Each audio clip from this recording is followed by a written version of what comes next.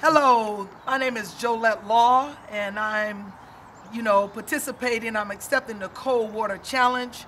Uh, I've been called out by Carly Mitchell and several others, but uh, I had to bring my mentor, Pat Head-Summitt, the winningest coach in the country, with me to hold me accountable, because a lot of people thought I wasn't going to do this, but uh, she's here with me.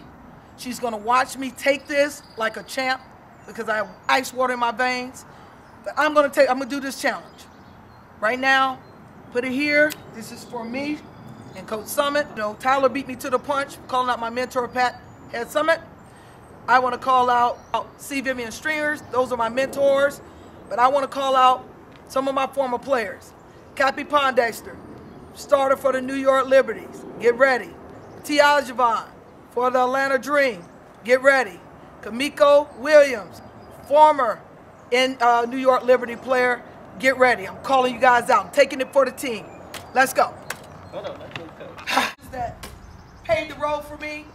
And I'm hoping these youngsters to pave, pave, continue to pave the road. I'm gonna take this like a woman, because I am all in.